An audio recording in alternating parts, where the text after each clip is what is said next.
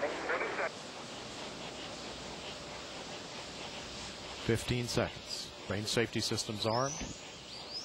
Sound suppression system water activated. T minus 10, 9, 8. Go for main engine start. 7, 6. Main engine ignition.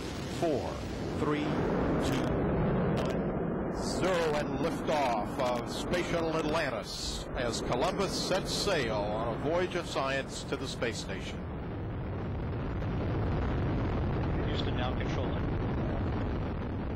Roger, roll, Atlantis.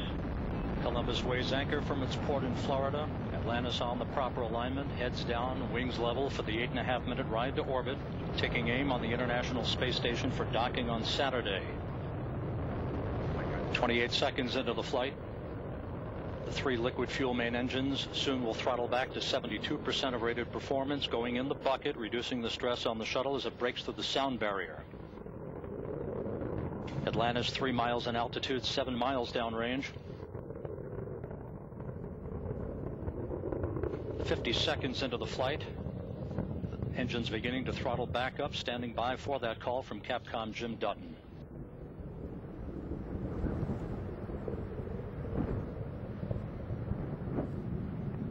Atlantis, go at throttle up. Atlantis copies. Go at throttle up. Throttle up call acknowledged by Commander Steve Frick, joined on the flight deck by pilot Alan Poindexter, Rex Walheim, and Leland Melvin. Seated down on the middeck are Stan Love and Hans Schlegel and Leopold Eyharts of the European Space Agency. Aarts hitching a ride to his new home on the International Space Station. One minute, 30 seconds into the flight. Atlantis already 15 miles in altitude, 16 miles downrange from the Kennedy Space Center, traveling 2,000 miles an hour.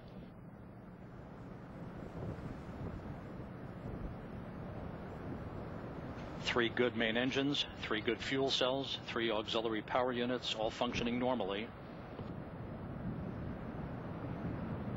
Standing by for solid rocket booster separation.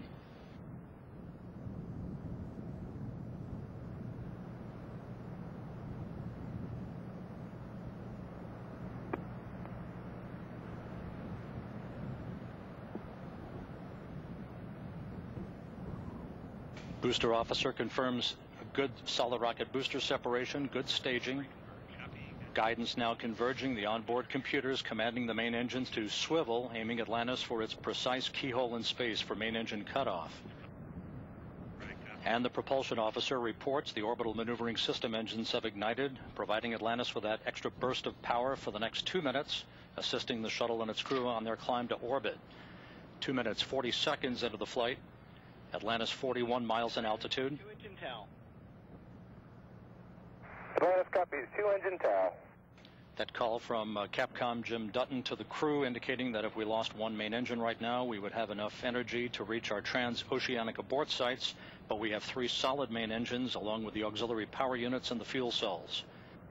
At the three minute mark into the flight, Atlantis 47 miles in altitude, 87 miles downrange, traveling almost 4,000 miles an hour. Atlantis flying on the singular power of its three liquid fuel main engines, draining a half a ton of fuel per second from the fuel tank. Coming up shortly on the point of negative return, where the shuttle will be too far downrange, too high in altitude to return to the launch site in the event of an engine failure, but we're flying on three solid main engines right now.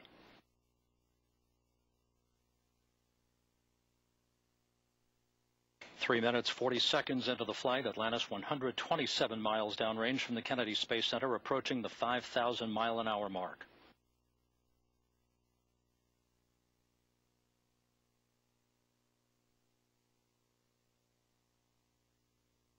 Atlantis, negative return.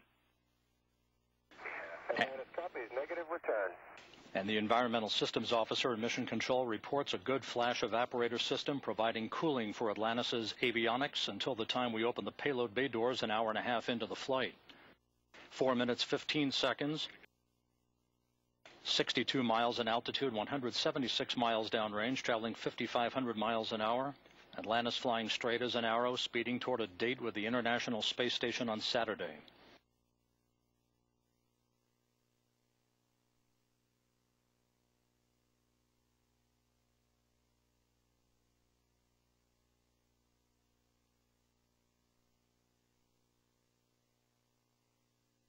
With all systems looking very good, Atlantis approaching the five minute mark into the flight. 65 miles in altitude, 230 miles downrange from the Kennedy Space Center, traveling 6,500 miles an hour, all systems in good shape.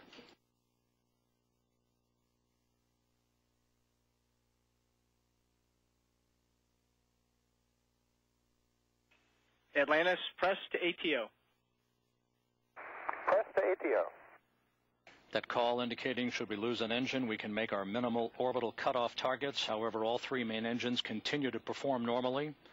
Three good auxiliary power units, three good fuel cells. Five and a half minutes into the flight. Atlantis 8,000 miles an hour in its velocity, 67 miles in altitude, 310 miles downrange from the Cape.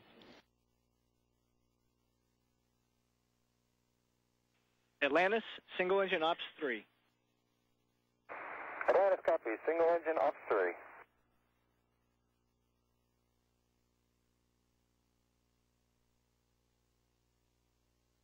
Beginning to roll to a heads-up position now.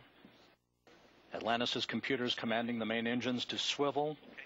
Rolling to the heads-up position provides Atlantis with more favorable communications through the tracking and data relay satellite system heading toward orbit. Atlantis, single engine Zaragoza 104. Single engine Zaragoza 104. Atlantis, press to MECO. Press to MECO.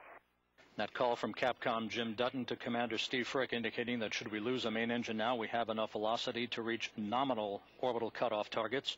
However, we're flying on three good main engines. All the other systems in good shape as well. Your shutdown plan is nominal. You are go for the plus X, go for the pitch. Copy. Atlantis copies. Nominal shutdown plan. Go for the plus X. Go for the pitch. Less than two minutes of powered flight remaining. Atlantis now 498 miles downrange from the Kennedy Space Center, traveling 11,000 miles an hour. About uh, Atlantis, single engine press 104. Atlantis copies. Single engine press 104. About 20 seconds from now, the main engines will once again be throttled down to limit the stress on the shuttle and its seven crew members to that of three times the effective gravity. Atlantis currently traveling at a speed of about four miles a second.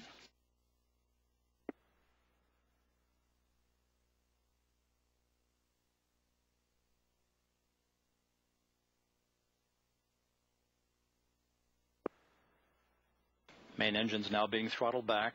Seven minutes, 40 seconds into the flight. Atlantis now traveling 14,000 miles an hour, 675 miles downrange from the Kennedy Space Center.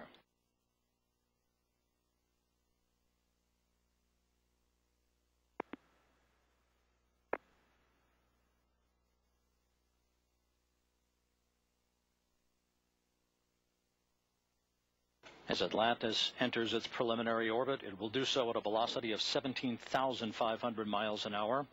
20 seconds of powered flight remaining.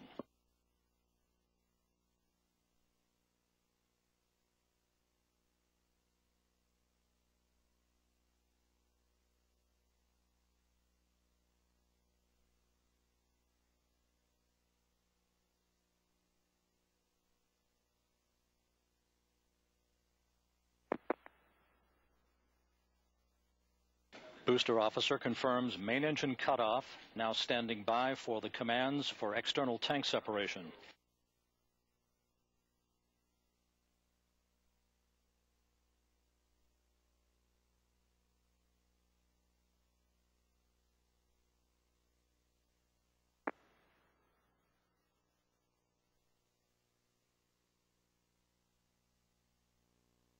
Atlantis, no action on the cabin DPDT transducer. Copy. No action. Spectacular view of Atlantis separating from its external tank. Atlantis now in its preliminary orbit. The Columbus module, Europe's new science center in space. Nominal MECO, OMS 1 is not required. Nominal MECO. OMS 1 not required. Thanks.